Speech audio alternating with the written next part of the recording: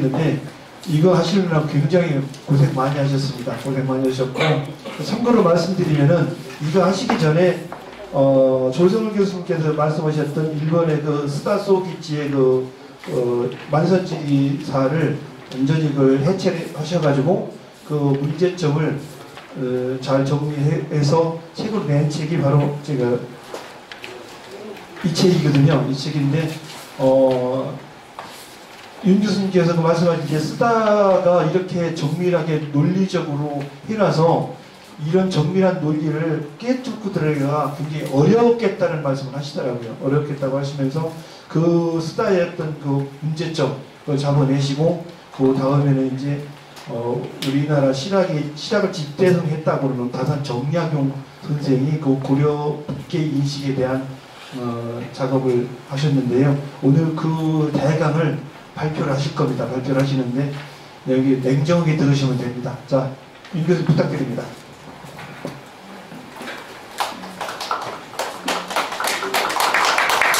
시간은 어, 30분입니다. 예, 2시, 3시 10분까지입니다. 예. 빨리 끝나면 됩니다. 네, 빨리. 30분 뭐 하시는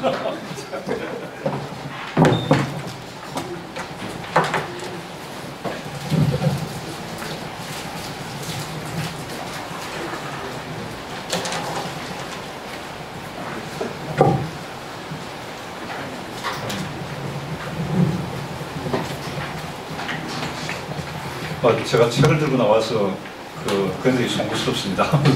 책을 것 같은 느낌이 들어서 대단히 미안합니다.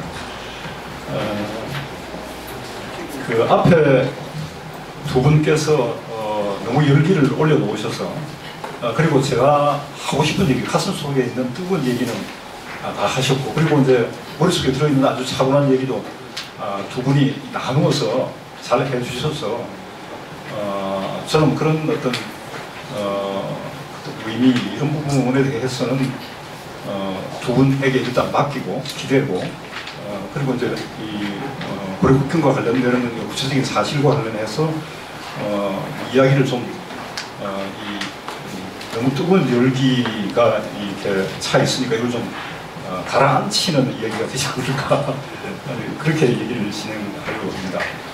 어, 복필 교수께서 어, 제가 이제 이 글을 소하게 된 배경에 대해서 설명을 어, 잠시 했습니다만은 제가 어, 어, 그 배경 부분에 대해서 제 나름대로 정리를 해서 말씀을 드리는 것이 어, 다시 정리를 해서 말씀드리는 것이 이 이야기를 앞으로 진행되는 얘기를 이해하는 데 쉬우실 것 같아서 어, 아주 간략하게 다시 좀 정리를 해드리기로 하겠습니다. 음, 그 배경이라는 것은 뭐 다른 게 아니고 아까 말씀하셨듯이 어, 이전까지 공부가 어디까지 왔느냐는 것이죠. 어, 그때 공부는 어, 복교수가 얘기했듯이 어, 진전자 오기를 스다소비치의 고려 서북계의 개척이라고 하는 그 글, 어, 그 글을 역주한 것까지였는데 어, 그 글이 가지고 있는 의미에 대해서 이제 간략하게 정리를 할 필요가 있을 것 같습니다. 어, 그때 이제 에, 에, 그 글을 비판적으로 역주하면서 제가 아, 아, 근거로 삼았던 기준은 두 가지가 있습니다. 아, 무슨 학문을 해도 그렇지만 아, 첫째 하나는 어, 범위를 어떻게 잡느냐, 어떻게 분명하게 어느 범위를 잡아서 얘기할 것인가 하는 것 하나. 그 다음 두 번째, 아, 그것을 어떤 방법으로 할 것인가. 이 두 가지가 이제 전제되어야 아, 그 얘기, 그걸 통해서 얻어낸 결론 자체가 어, 대중들에게 신뢰를 어, 획득할 수 있을 텐데요. 첫째 범위는 어, 엄격하게 900, 제 918년부터 1118년, 약 200년이죠. 어, 그러니까 고려와 그란이 국경을 맞대고 있던 시점, 그 200년으로 한정한, 일단 그랬습니다.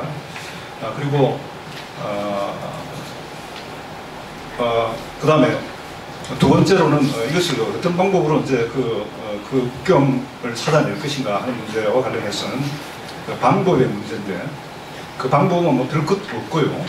어, 역사라는 것이 기초 사례를 중심으로 어, 할 수밖에 없었으니까 아, 그 당시 어떤 어, 이 범위가 대상이 설정이 되면 그 범위 대상을 어, 어, 기록해 놓은 어, 어떤 어, 그것을 밝히기 위해서는 어, 그것이 어, 그것이 어떤 시간, 어떤 공간 음, 일어난 일인가를 일단 중심으로 사고를 해야 되지 않겠습니까? 그래서 거 고려가 어, 국경을 맞대고 있었던 그 200년의 가장 가까운 시기의 역사, 사서, 이 사설을 어, 중심적으로 검토한다.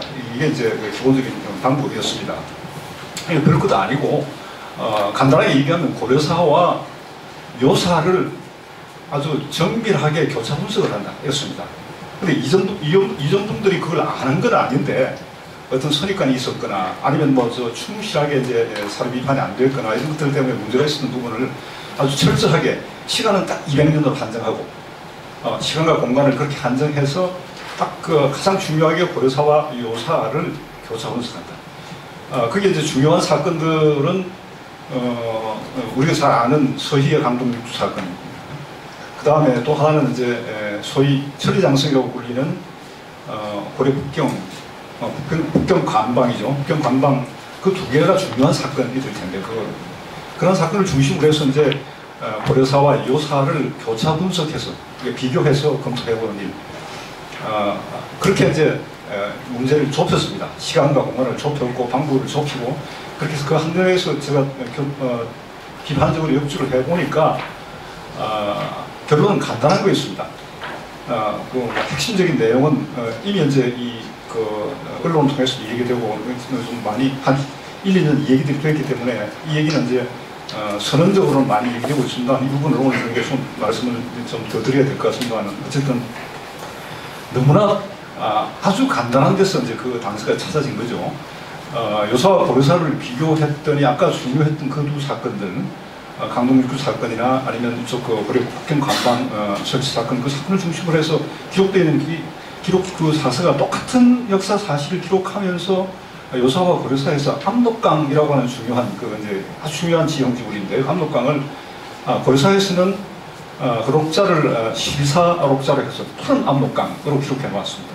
같은 사건을 그런데 요사는 어, 삼수 압록강으로 해서 저기 편의상 맑은 압록강 이렇게 부르겠습니다. 그럼 그 록자가 밭을 록, 맑은 록 어느 쪽인지 잘 모르겠습니다만 어쨌든 편의상 어, 실사록자를 푸른 압록강 그리고 어, 삼수 압록강을 맑은 압록강 이렇게 부르기로 하겠습니다. 앞으로 이 얘기는 이 전개를 편, 어, 편하게 하기 위해서요.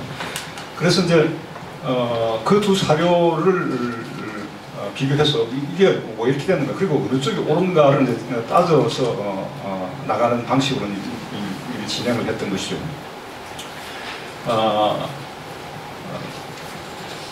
어, 근데 어, 결론적으로는 보면 찾아내온 게 이제 에, 어, 요사에 이제 그, 그, 저, 삼수 압록강으로 되어 있는 그 압록강이 1084년도에 명확하게, 어, 그랑과 고려의 이 국경을 밝혀놓은 거. 뭐 이게 이것저것 뭐 엮어서 한 게 아니라 선언적으로 조사의 병의지, 우리 식으로 얘기하면 고려 병지가 되겠죠. 병지에 해당하는 게 고려가 거란이라고 하는 건 1084년 당시에 뭘 경계를 하고 있었다. 그럼 그거, 그 주변에 이러저러한 어, 도시 이름들이 나오고 그게 배치되어 있는 어, 병력 수가 나오고 그렇게 됐던 거죠. 그 기록을 지금까지 어, 주변 사람들이 보고는 슬쩍 넘어가 버렸던 것 같아요. 거기 보면 이제 그 삼수암록강으로 되어 있는 어, 그 저희 푸른 압록, 아, 그러니까, 그러니까 맑은 압록강이죠. 맑은 압록강의 주변에 배치되어 있는 가장 중요한 헤드쿼터들 도시는 어, 요양, 요양과 그란 동경으로 되어 있는 요양과 그리고 지금 현재 개원이라고 되어 있는 개원 지명을 가지고 있는 함주 그리고 저 위에 지금 명확하게 위치가 밝혀져 있지는 않습니다만 어, 용주로 불리기도 하는 우리 용광gen이라고 불리기도 하는 그 그런 이름을 많이 불리는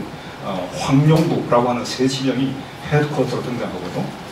어, 그 주변에 이제 각각 중요한 군영들이 있었습니다. 하는 뭐 가타형이니 유병영이니 뭐 하는 하는 영들이죠. 그런 이제 군영들이 있고 그 다음에 거기에 어, 초소들이 그 압록강 그 압록강 주변에 초소들이 70개가 배치되어 있는데 그한 초소 하나하나에 병력이 20명이 배치되어 있다. 20명. 그래서 1,400명이 배치되어 있다. 되어 있고, 아까 이제, 어, 함주에는 1,000명, 헤드코타 함주에는 1,000명, 그리고 저기 황룡부에는 5,000명 이렇게 배치해서 총, 어, 국경의 병력 수가 22,000명이다. 이게 정확하게 세을 해보니까 2만 1,000명이었는데 아마 1,000명 숫자상으로 안그 차고가 생긴 것 같습니다. 그렇게 되어 있었습니다. 어, 그래서 어,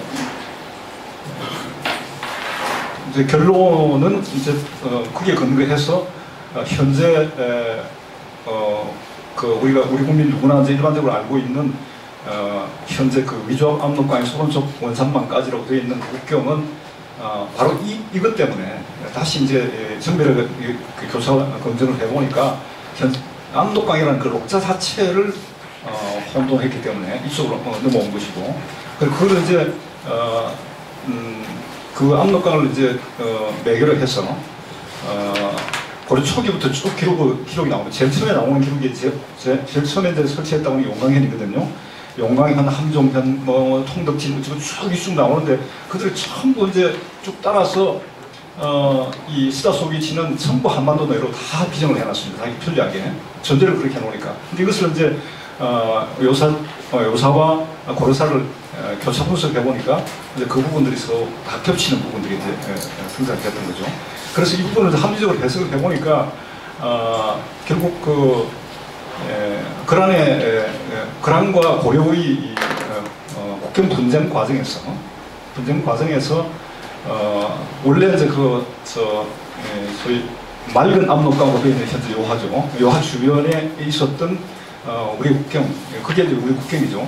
그란과 고려 국경인데 어, 국경을 방어하는 과정에서 이제 어, 이 고려가 국방 방위지를 어, 현재 있는 압록강 위조압 쪽에 설치했었다. 아, 그러면서 이제 이 그 이, 이 지명 자체가 그러니까 요하 주변에 있는 어, 대표적인 지명을 보면 위에서부터 용주, 철주, 통주, 구이주, 이 여섯, 여섯 개인데요. 그 이제 여섯 개의 지명이 현재 에, 우리 에, 푸른 압록강 위에 있는 걸로 되어 있지 않습니까? 아주 쏨쏨하게 박혀 있거든요. 근데 그것들이 둘 다 어느 쪽이 맞고 틀리고가 아니고 어, 원래 요하 지역에 있었던 것은 그 여섯 개 지역들은 어, 고려 국경선으로서 기여를 했고 어, 그리고 그 국경선을 방어하기 위한 후방 방어 기지로 지금 현재 우리가 아, 강동 북쪽으로 얘기되고 있는 그 지역들의 기지들이 설치되고 있었다. 이런 식의 어, 국경 방어 체계를 만들고 있었다. 이렇게 가설을 세웠습니다. 이 부분은 뭐 이제 어, 더 많은 고, 어, 고증들이 필요하긴 합니다만은 어, 이걸 그냥 뭐 가설이라고 해서 그냥 제 머릿속으로 그린 것은 아니고 아까 말씀드렸듯이 이제 에, 요사와 고려사를 정밀하게 분석하고 거기에 등장하는 각 지명들 한 60개 등장하는 지명들을 전부 대조해서 아, 아, 아까 그런 에, 가설을 세우게 되었던 것이죠. 어, 그런데 이제 이런 식의 에, 제 이제 연구 성과가 발표되고 난 다음에 에, 직접적으로 혹은 간접적으로 들리는 얘기가 에, 있습니다. 이, 첫째 에, 그, 어, 두 가지를 요약을 할 수가 있는데 첫째 하나는 아, 이러한 식의 수다의 이런 주장은 그걸 자꾸 무슨 뭐 신민사관이니 혹은 무슨 반도사관이니 뭐 이런 식으로 몰아붙이는데 어, 그러한 이야기는 이미 조선 왕조의 모든 학자들이 다 그런 주장을 하고 있었다.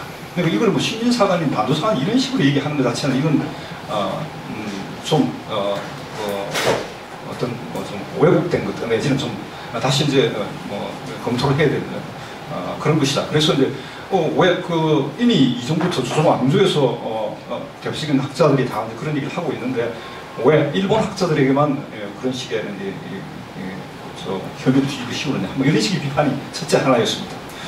그리고 두 번째는 어, 제가 아주 중요한 이제 사료적 근거라고 들고 있는 요사 이 요사 자체가 아, 너무 졸속으로 만들어졌기 때문에 아, 사료적 가치가 희박하다. 이 자체 이걸, 이걸 근거로 해서 얘기하는 것 자체는 문제가 있다. 이 두 가지가 이제 어, 핵심적인 어, 어, 그들의 이제 직간접적으로 들려온 비판이었습니다. 그래서 이 문제를 이제 에, 해결할 수밖에 없는 지경에 오게, 오게 된 거죠. 만약에 이 얘기를 그대로 다 받아들인다면 뭐 인생 자체가 헛수고라 하지만 정말 제가 해놓은 모든 작업이 헛수고에 그칠 뿐이죠. 그래서 어, 어, 이거를 어, 이, 이 부분에 대해서 다시 해명을 해야 되겠다. 다시 조, 조선왕조로 들어가서 어, 첫째, 첫째 그들이 이 비판했던 조선왕조 학자들이 과연 수다와 똑같은 얘기를 하고 있는지 아닌지 확인해봐야. 그 다음에 아, 요사 자체가 아, 사회적 가치가 어떠한지에 대해서 어, 어, 그걸 또 어떻게 다루는지에 대해서 검토하지 않으면 안 되겠다. 어차피 이것도 헛수고가 될지 모르지만 어차피 헛수고가 된다면 아름다운 헛수고를 해야 되지 않겠냐. 아, 그렇게 해서 어, 다시 이제 이 예, 조선 왕조 어, 고 이전 시기의 예, 예, 그 사료를 검토하게 됐습니다. 그래서 어, 조선 왕조 중에서 뭐 누구나 다들 이제 에, 에, 그 지금까지 우리 역사학계에서 동의를 하고 있듯이 조선 왕조의 가장 최대 학자는 어, 역시 어, 다산이라고 얘기하고 있으니까 조선 후기에 에, 다산의 10대 승자 아, 아, 아, 그 신학 20대 승자 다산의 이 부분에 대한 연구, 어, 성과를 바탕으로 해서 이 얘기를 바탕으로 해서 얘기를 전개하는 것이 아, 가장 어, 직접적이고 빠른 길이겠다. 아, 그래서 그 이후 어, 이제 에, 그 부분 관련해서 오늘 어, 첫 발표를 해주신 우리 어, 한국에서 지금 다산 정부의 최고봉이라고 할 수 있죠. 어, 이저 선생님께서 이제 정리해 주신 자료를 바탕으로 해서 어, 여러 가지 이제 이, 어, 판본들이 있기 때문에 그 판본들을 중심으로 해가지고 어, 다시 이걸 검토하는 작업에 들어갔습니다. 그래서 그 얘기 그래서 어, 그런 배경 하에서 오늘 이, 이가 이제 그 이, 이 글을 쓰게 됐고 오늘 이 공개적으로 발표를 하게 됐습니다. 그래서 그 부분과 관련해서 몇 가지 이제 오해들이 있을 것 같아서 어, 제가 할 수 있는 부분이 어디까지인가를 말씀드리기 위해서 그 줄을 달아놨습니다. 1번은 줄을 보군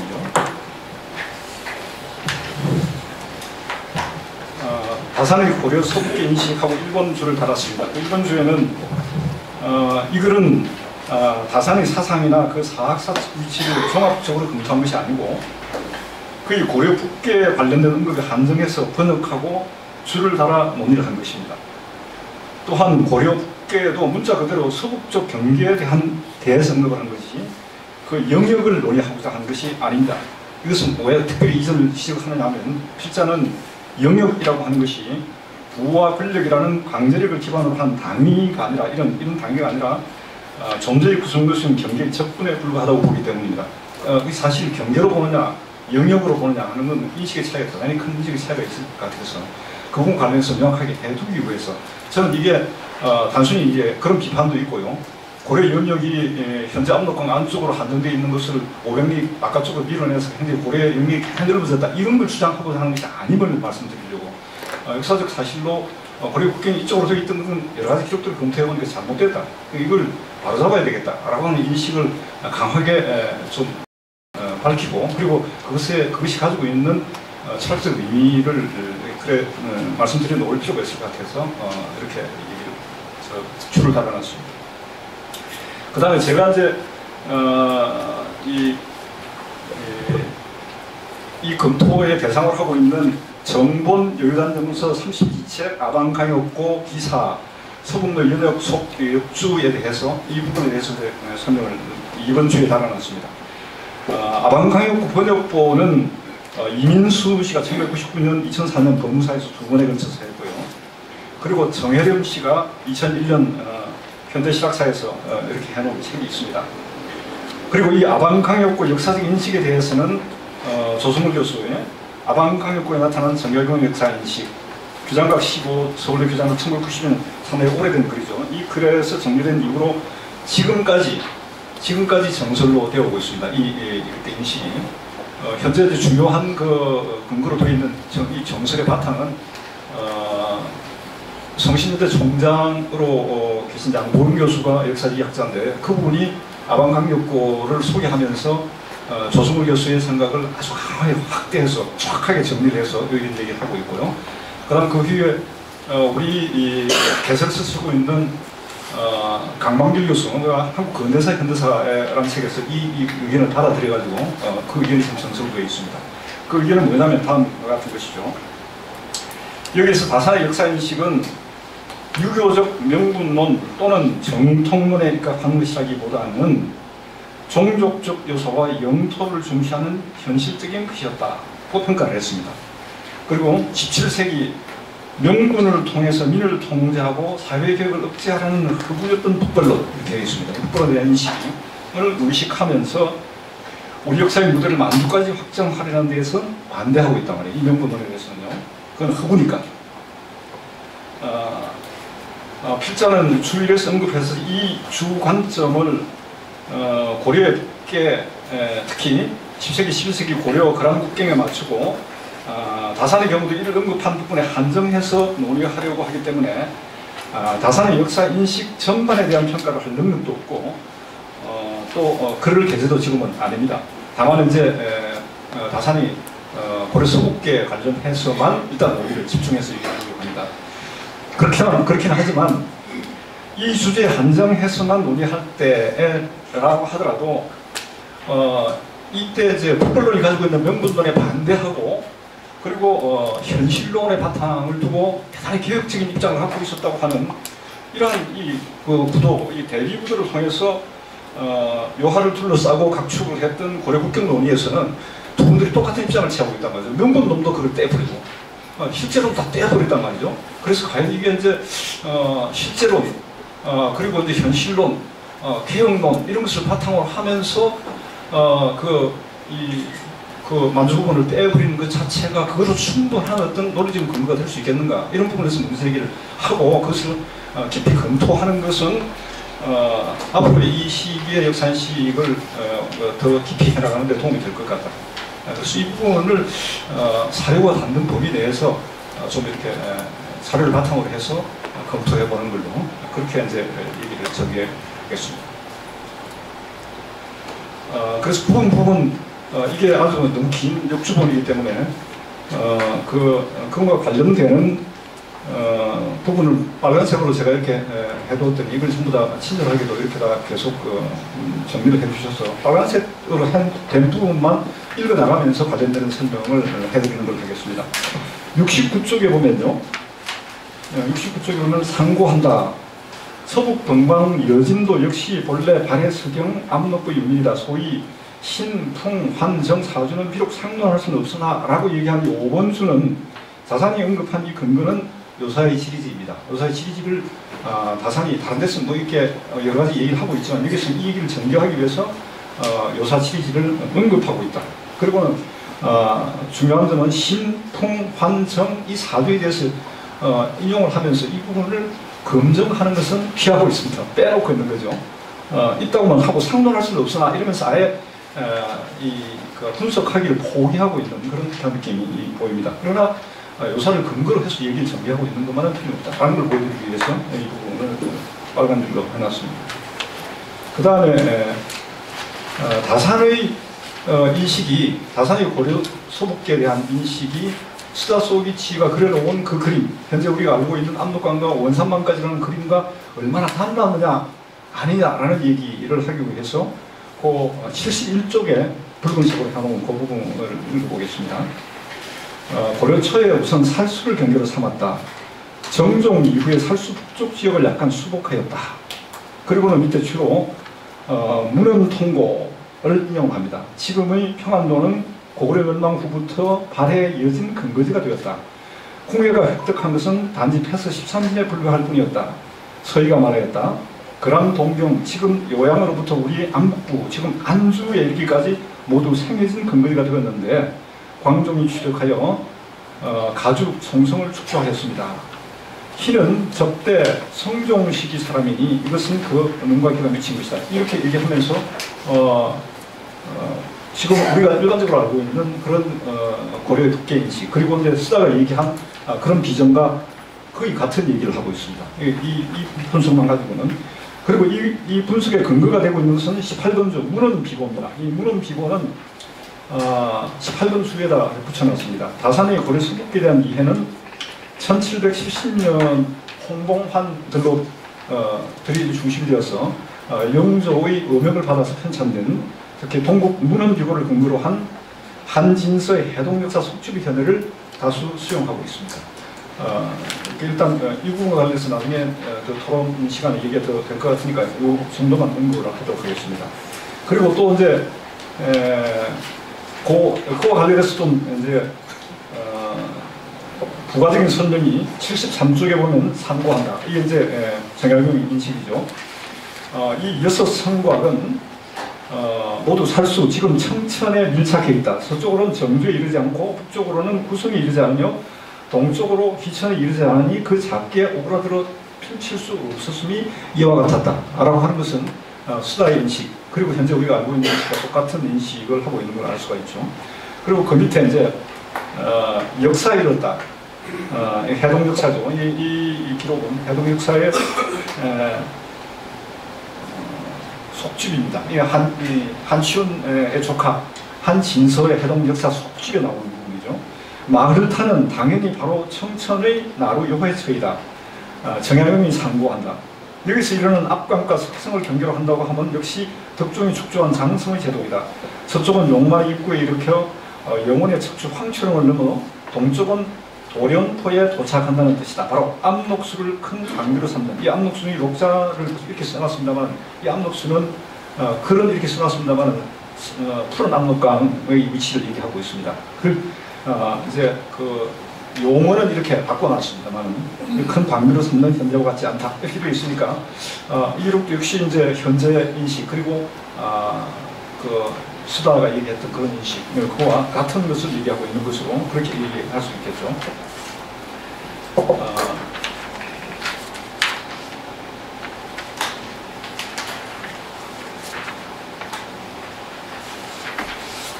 어, 그러면 이제 여기까지 보면은 어, 다산인 고려 소국기에 대한 인식 자체는 어, 조선 왕조의 대표적인 어, 국가 인식이었던 동국민주국 문헌비고 1770년의 자료이죠. 그 비- 그것을 바탕으로 한 인식 그런 인식을 그대로 수용하고 있고 그리고 그 인식은 어, 저를 비판했던 비판자들의 얘기들처럼 어, 수다 소비치가 얘기한 인식과 똑같습니다. 단지 이제 어, 어, 그들과 다르다면 어, 이 압록강의 녹자를 푸른 녹자를 써놓지 않냐고 글자를 녹으로 바꿔놨다는 그 점만 다르다는 거죠. 그런 차이만 있는 거죠. 실적으로는 이, 어, 보는 어, 그 경계 인식은 똑같은 거죠. 같은 것이라고 얘기해도 좋을 것 같습니다. 아, 그리고 어, 이제 특이하게 그 차이점이라 하면 어, 방금 말씀드린 어, 쓰다가 이제 맑은 어, 푸른 압록강으로 써놓은 글자를 맑은 압록강에 글자로 바꿔놨다. 음, 그걸 이제 좀 그걸 발, 어, 써놨습니다. 81쪽에 아, 80, 80 쪽이죠. 80쪽에 이제 에, 소선명과 서희가 담판을 할 때 얘기했던 어, 또 압록강 내외 가운데 보면 80쪽의 중간쯤에 붉은색으로 해놨죠. 압록강 내외 역시 우리 경내이다 라고 서희가 주장하는 어, 대목이 나오는데 이 대목의 녹자를 다사는 어, 어디서 어, 찾았는지 이 어, 원래 밑에 36분 줄을 보면 현존하는 고려사에서는 푸른 압록강으로 되어 있는데 다산이 고려사를 인용하면서 맑은 압록강으로 정정해놓은 놈이 해놓은 점이 주목이 됩니다. 이게 이전까지 이전에 아, 장지연본이 주로 많이 다- 돌아다니고 있었는데 장지연본은 전부 푸른 압록강으로 써왔던 거죠. 근데 이게 에, 다산 학술문화재단에서 대대적인 여담전설 전문화 사업을 진행하는데 그게 이제 여담 이 아방강역보를 조성우 교수가 했습니다. 그래서 2012년에 나온 책에 거기서 유일하게 이, 이 압록강 자체를 맑은 압록강으로 이렇게 교정을 해놨습니다. 꼼꼼한 선생님 꼼꼼하게 정리를 했었으니까 그게 근거해서 제가 이렇게 말씀을 드리는 겁니다.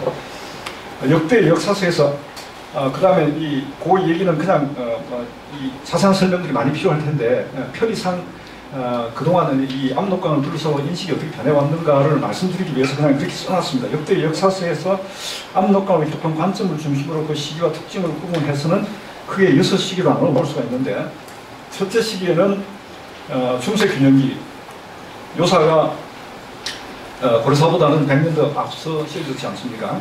어, 요사는 고려산 1351년에 시어졌는데 요사는 1344년에 어, 원대에 어, 금사와 송사와 동시에 시어진 책이죠. 그리고 아까 제가 말씀드린 어, 어, 요사 병리지의 그 기록은 그 근거가 뭐냐면 고려의 대요사적입니다. 1340인데 어, 그 기록은 어, 고려사의 1343년 그 1년 전에 어, 원의 직성 원의 이제 그 비서실이죠. 원, 어, 왕실의 비서실이죠.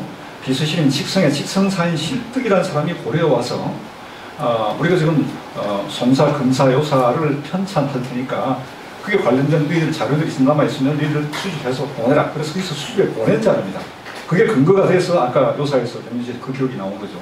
그, 그 기록의 원천은 고려라는 거죠. 고려사라는 거죠. 그리고 그 기록은 어, 고려가 보증하는 것이고 고려 조정이 그리고 어, 그 다음에 어, 원나라 황실이 보증하는 것이고 그리고 어, 어, 그 다음에 이제 그 근대 사례들을 바탕으로 해서 이 얘기 되어 있는 것이니까 어, 어떻게 보면 이 삼식이 삼, 삼 왕조에 있어서 에, 보존되고 있는 기록이기 때문에 그 신뢰할 수 있는 기록이다. 일단 그렇게 얘기해 봐야 될 것 같습니다. 아, 그 시기에는 요사의 시기에는 어, 정확하게 기록되어 있으니까 이것을 사실적으로 기록했고 그리고 그때는 고려와 거란이 어, 그 요하를 중심으로 해서 서로 국경을 다투면서 균형을 비교적 균형을 이루고 있었던 시기다. 그래서 그렇게 균형적으로 수술됐을 것이다. 이렇게 저는 이, 어, 정리를 했습니다. 그 다음 두 번째 시기는 어, 중세 재평기인데 이 중세 재평기는 언제냐 하면은 어, 조선왕조가 건립되고 난 이후의 일이죠. 그 이 조선왕조 건립된 이후는 어, 여기 예, 어, 뭐 아까 많은 분들이 딱두 분이 많은 설명을 하셨습니다만 사실 그때 그게 직접적으로 언급은 안 하셨습니다만 가장 중요한 사건이 어, 위화도 해군 사건입니다. 위화도 해군이라는 것, 이것 때문에 사실은 너무나 눈치도 보게 됐고 여러 얘기들이 이제 이, 이, 많은 많은 것들이 좀 그렇게 되게 됐지 않습니까? 그래서 그때 쓰여진 책들이 그 이후에 고려사 그리고 신중 동국 예술신화 이런 것들인데 어, 이것들은 어, 대단히 절충적으로 쓰여져 있다. 왜 절충적으로 쓰여져 있다 그랬냐면은 어, 고려사 시리즈 서물을 보면 고려 영토는 옛날 어, 서쪽으로는 압록강, 푸른 압록강으로 되어 있고 어, 오른쪽으로는 어, 선출령으로 되어 있다까지 간다. 그런데 어, 서쪽은 서북쪽은 옛날 어, 고구려에 미치지 못했고 동북쪽은 고려를 넘었다 이렇게 되어 있거든요. 그러니까 그 기록으로 보면 그 거기서 얘기하는 그 어, 압록강은 삼수 압록강의 요한이 분명한데 어, 아까 우리가 제가 요하고 대비해서 보정한 바에 는 대비한데 그거를 어, 실사로 바꾸어 놨다는 겁니다. 이것이 이제 그 당시 그런 상황, 우야도 해군하고 있는 그런 상황. 아까 이제 여러 가지 큰 말씀 많이 했었습니다만 신 교수님도 얘기하셨고 예, 그런 시대적인 상황 아, 그런 것과 관련해서 어, 이 다분히 만약에 그렇다면 이건 가정입니다 어쨌든 눈치를 보지 않았을까 그래서 절충하려고 하는 의지가 있지 않았을까 해서 이 글자를 바꿔놓은 게 아닌가 하는 생각을 의심을 해본 겁니다. 아, 그리고 또 하나는 어, 그 당시 이 명분 자체를 대성왕인 왕이 어, 뭐 태조 왕건이 아니 이제 예, 태조 이성계가 나를 세워놨는데 그 명분 자체를 어, 거역할 수는 없었겠죠. 이런 부분들이 반영돼 있었을 거다. 그래서 고려사와 동국 여지 신정 동국 여지천남에 있는 기록들은 어, 이런 부분들이 반영이 돼서 기록들이 그렇게 바뀌지 않았을까 이렇게 생각한다. 이런 말이고요. 그 다음 세 번째가 근대 이행기인데 이 근대 이행기는 아까 어, 시각 이게 지금 현재 우리가 다루고 있는 아방강역고 얘기인데 이 아방강역고에서도 아, 이 부분 뭐 보면은 이제 어, 아까 말씀드렸듯이 이 예, 푸른 압록강을 어, 이 맑은 압록강으로 글자를 바꾸어 놓은 지점 이 지점은 대단히 좀 중요하다고 봅니다. 어, 이 지점이 이제 어, 어, 그들 그 당시 있, 었던 이 고정의 전통 그리고 그 당시 사회적 분위기 이런 것들이 이제 반영되고 있었던 거 아닌가. 그래서 어, 다산의 이 지점 이와 관련 요, 이 부분 이 주제와 관련 이 범위와 관련돼 있어서만 한정한 돼서 얘기하자면 바로 이 지점이 빛나는 지점입니다. 그 고정 그 당시 침대 고정학이라든지 이런 걸 중심으로 해서 이 지점이 이제 음, 지적될 필요가 있을 것 같고 그러나 그럼에도 불구하고 명분론자와 똑같이 실제론자가 어, 만주를 떼어버린 부분은 요동 자체를 떼어버린 부분은 왜 그런가 뭐, 왜 그런가 그건 아까 얘기한 어, 북벌이 가지고 있었던 이데올로기성을 바, 비판하고 어, 내부를 개혁하고 민들을 생각하고 민생을 생각하고 개혁을 얘기하고 실제적으로 얘기하기 위해서라기보다는 어, 그건 아니고 그들이 얘기하고 있었던 것은 우리는 뭐저 그, 그, 그 르네상스 복과 그러니까 요소부터 문무주공까지 올라가고자 했던 그건 그 전에 이제 무슨 어그 뭐 사스 중심으로 아 이렇게 되어 있었던 거를 삼등 중심으로 끌어올린다든지 아, 주 예전 중심으로 끌어올리는 이런 쪽으로 이제 어, 옛날로 되돌아가거든 근본으로 되돌아, 되돌아가고자 하는 복고주의적 성격 이런 것들이 반영됐을 것이 아닌가. 이 지점이 아직까지 한계로 남아있었다. 그리고 또 어, 다산 같은 경우는 아무리 뛰어난 분이라고 하지만 그리고 어, 민을 생각하고 그러긴 하지만 역시 조선왕조로 사는 분이었는데 그 당시 조선왕조의 그 명분 이구수를 벗어날 수는 없을 것이다. 그것은 현재 우리가 어, 어, 우리 체를 어, 무시 그 어, 거역하는 것. 그러니까 무슨 빨갱이가 되는 것 똑같은 것이 아니겠습니까 사실은? 어, 그런 의미에서 어, 그런 어, 그런 점에서 이 예, 기껏 가봐야 옛날 밀고 갈수 밀고 가서 근본적으로 어떻게 됐는가를 찾아가는 어, 그런 점에서 어, 어, 그 그런 어떤 인식 자체가 반영되었던 것이 아닌가 오히려 얘기한다면은 뭐 개혁적이고 실제적이고 이런 식으로 어, 지금까지 비판해서 어, 평가해 놓은 부분은 조금 약간 뻥튀기 된 거 아닌가? 이 부분에 대해서 나중에 좀 논리적으로 어, 그 조성 교수님 좀 말씀해 주시면 좋겠습니다. 저는 그렇게 일단 생각을 했습니다. 그리고 이제 네 번째로는 어, 지난번에 검토했던 제국주의식입니다. 이 제국주의식은 어, 수자 소비치가 얘기했던 조선 역사식이었어요. 이 조선 역사식에서 왜 이런 식으로 했냐면 그들은 어, 서구의 역사식을 가져왔죠. 랑케르에. 어, 가져와서 이들이 이 근대 역사를 어, 계몽적으로 이 가져오려고 했더니 계몽성이 반영되고 있었고 그리고 또 한편으로는 그들이 이제 어, 이 영토 자체를 이걸 먹으려고 하는 그 당시에 어, 적주의 정책이 침략성이 반영이 된 것이다.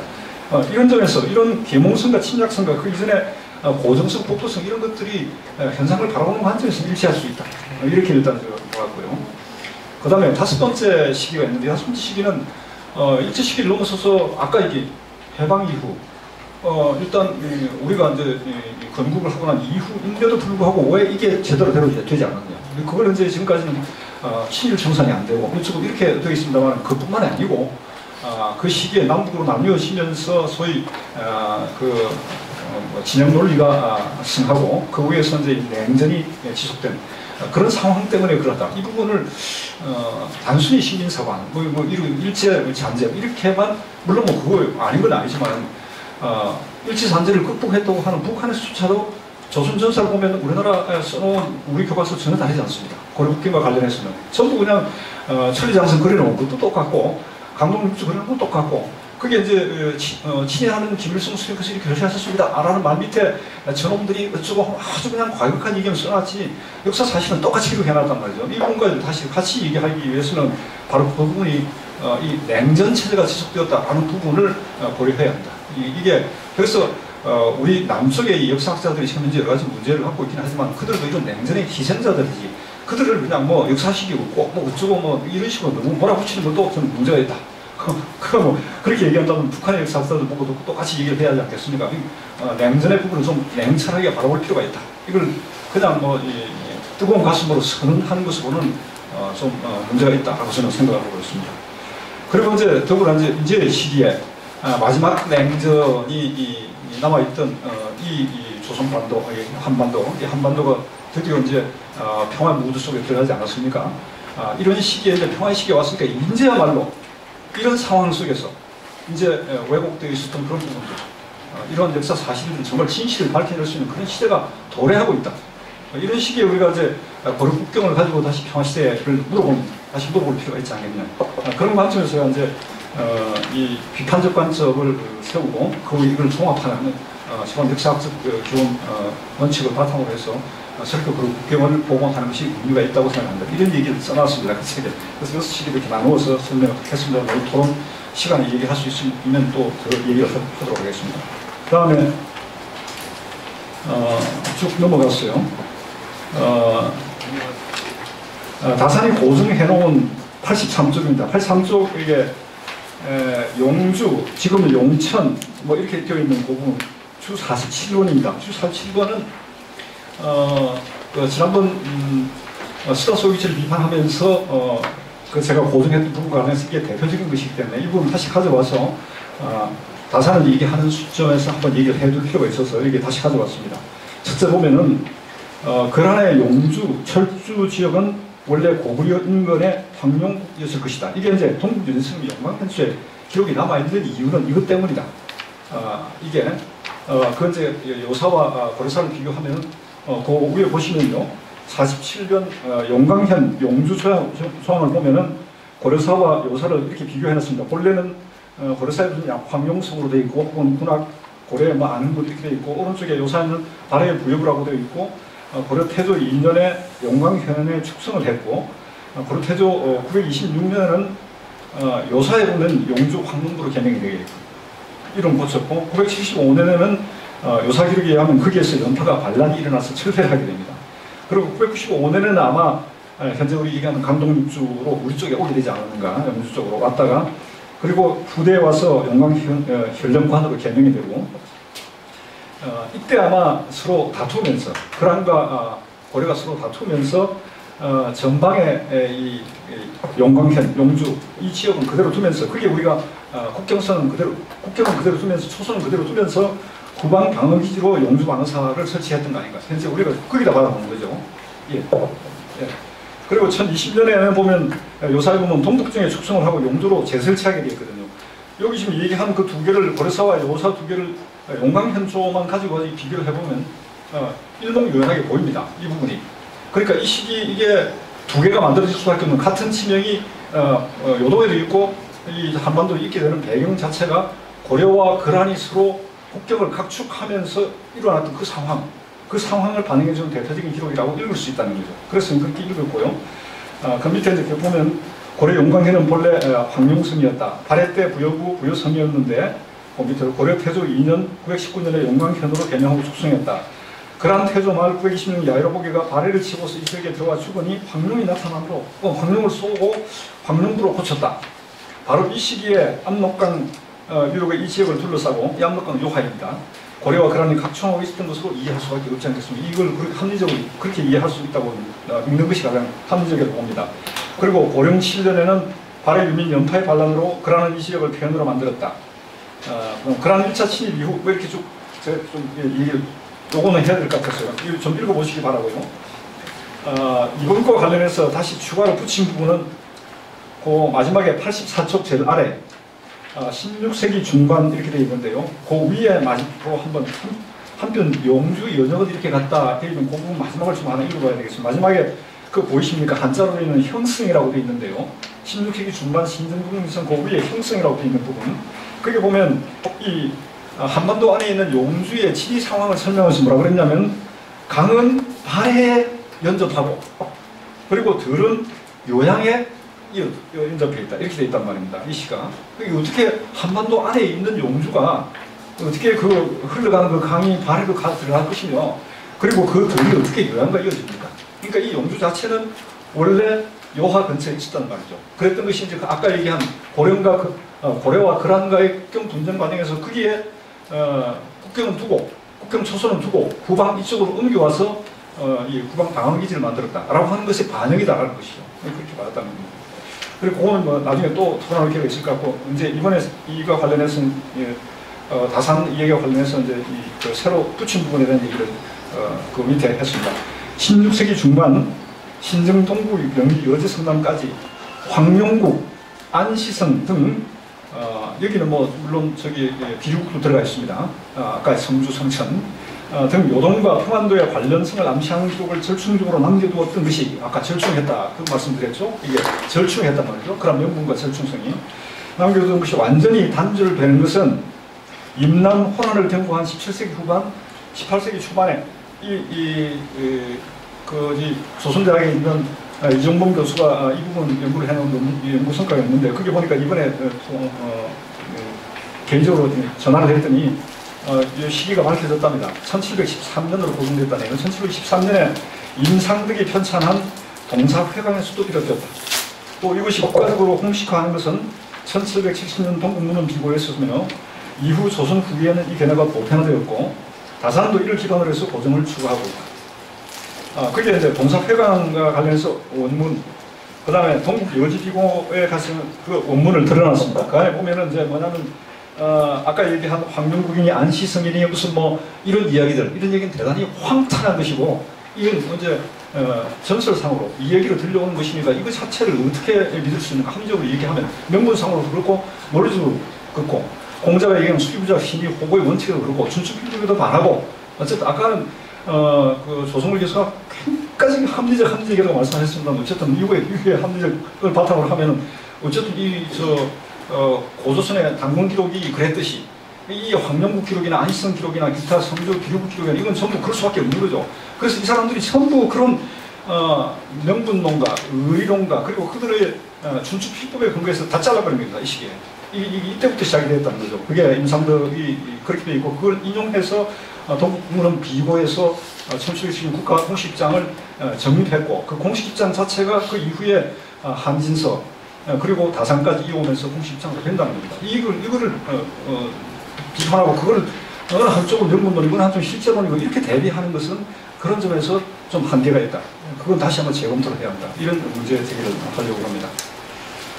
어, 그 다음에 음, 그 외에 이제 어, 쭉 넘어가면 제 얘기는 거의 다 했습니다. 앞록 86쪽에 보면 어, 어, 붉은 색으로 해놓은 이 이제 어, 어, 그 다산의 고정 정신이 보이고요.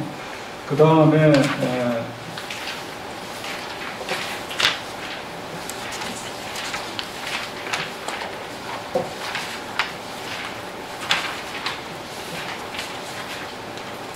여기 98쪽에 요거만, 요거만 읽겠습니다. 98쪽에 보면 어, 국경 분쟁에서 대단히 중요했던 어, 그 진영이 보주라는 지역과 그리고 내원성이라는 것인데 이 보조와 내원성에 대해서 어, 스다소비치는 그걸 전부 어, 압록강 안쪽으로 현재 얘기하는 한반도 쪽으로 그냥 뿌려 넣어버렸습니다. 그만이 그랬는데 이게 한진서와 그리고 이제 다산은 이 부분에 남아있었던 두 기록 그러니까 어, 저쪽 그 요동에 있었던 그 요사나 기타 있었던 그, 그 사체를 부정하면서도 고정해놓지 않으면서도 있었던 기록 자체를 남겨두고 있습니다.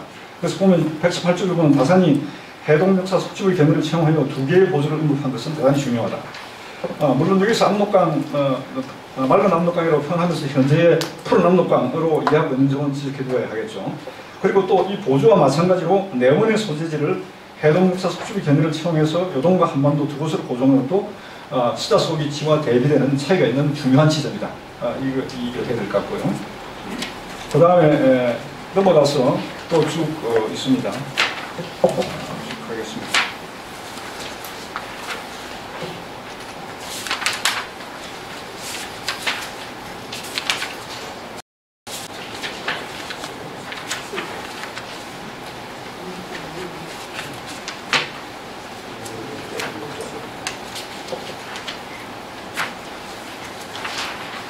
어, 제가 지금 안 보이는데 중간중간 보면 어, 다산이 에, 맑은 압록강으로만 써놓은 게 아니고 후대 원대 자리에 보면 푸른 압록강으로 써놓은 자리가 있습니다. 그 자리도 확인해 보시죠. 그 은밀하게 그게 선생님 어, 그 천밀하게 되어 있는데 나중에 다시 한번 확인해 봐야 되겠습니다만 어쨌든 다산이 두 가지를 나누고 쓴 건 의도적이지 않았을까 생각하는데 그건 다시 좀 검증을 해봐야 될 것 같고요. 어쨌든 하나만 일률적으로 써놓지는 않았습니다. 후대에 보면 원대에 보면은 어, 푸른 압록강 써놨다는 거죠. 그래서 그건 구분하고 있지 않았을까. 혹은 어쨌든 뭐 어, 위치는 같은 위치로 얘기하고 있으면서 글자를 달리 해놓은 부분에서는 지적해둬야 될 것 같고요. 그 다음에 어, 143조 부분하고 이제 한 두 개만 얘기할 때라고 했습니다. 이 부분 보면 어, 묘사에 대한 어, 다산의 어떤 어, 그 태도, 입장을 보여줄 수 있는 자료라서요. 143조 속문은 통고, 이 명대 초에 만들어진 예, 책인데, 어, 속문은 통고에 보면, 어, 이렇게 옛날 기록들을.